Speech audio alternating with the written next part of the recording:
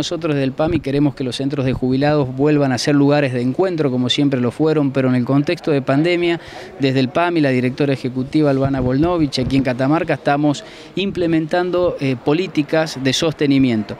Hoy entregamos eh, subsidios de sostenimiento para que los centros de jubilados puedan abastecerse y pagar la luz, pagar el gas, pagar el agua, porque ellos tenían que eh, recaudar como cualquier asociación civil a través de los talleres preventivos, de las reuniones sociales, de las actividades culturales. Como hoy eso se hace muy difícil porque la prioridad es cuidar la salud. Desde el PAMI estamos cumpliendo con el compromiso de poder apoyarlos y sostenerlos. La mejor política fue la implementación con éxito en Catamarca de los medicamentos gratuitos, de la receta digital, pero también hoy estamos con estos programas eh, sociales que llegan a cada uno de los centros de jubilados y pensionados de la provincia de Catamarca. Además se suma también el bono navideño de fin de año que se hace efectivo en este mes, en el día de hoy.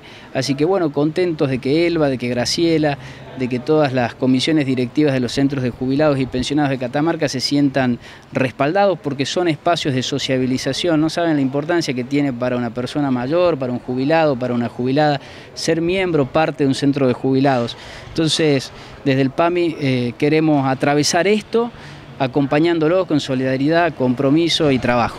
¿De qué monto es la ayuda para los centros de jubilados y a cuánto son los que benefician? Bueno, trimestralmente se les otorga 15 mil pesos. Cada tres meses se les otorga 15 mil pesos. Además de eso se suma también los 10 mil pesos eh, de bono navideño. En total hoy están recibiendo 25 mil pesos. También tenemos 500 eh, mil pesos distribuidos en, subsidios de 100 mil para los centros de jubilados que están con mayores dificultades, los que tienen mayores problemas edilicios, en donde hay riesgos muchas veces para el sostenimiento en cuanto a seguridad. Ahí PAMI también implementa este otro presupuesto para poder eh, ayudarlos. Y así estamos gestionando a medida de que vamos transitando los meses de la pandemia, pero esperamos que esto también, diríamos, termine y vuelva a funcionar el programa Pro Bienestar, que era el programa alimentario que tenía PAMI y que organizaban y administraban los propios centros. Por último le consulto, ¿cómo está la situación de la entrega de medicamentos para los afiliados al PAMI?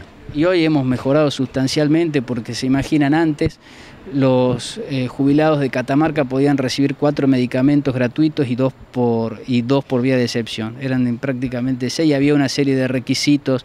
Si una persona tenía un vehículo no podía recibir sus medicamentos gratuitos y tenía que someterse o ser víctima de mucha burocracia. Hoy los medicamentos son gratuitos, tenemos un Bademecum de 3.600 medicamentos en donde retiran directamente por la farmacia. Además, con la receta digital pueden por el celular, por un mail o un familiar, una persona de confianza, gestionarles la receta con el médico de cabecera que generalmente los atiende y directamente por sistema pasar por farmacia, que fue lo que vivió PAMI, una transformación en cuanto a las nuevas tecnologías impresionante. Hoy invitamos a que saquen los turnos programados para que evitemos aglomeraciones y podamos seguir cuidándonos en las agencias del interior y en la agencia de la ciudad capital y recurrir en los casos que sea urgente o muy necesario porque el resto de los trámites del PAMI se pueden hacer por la página web.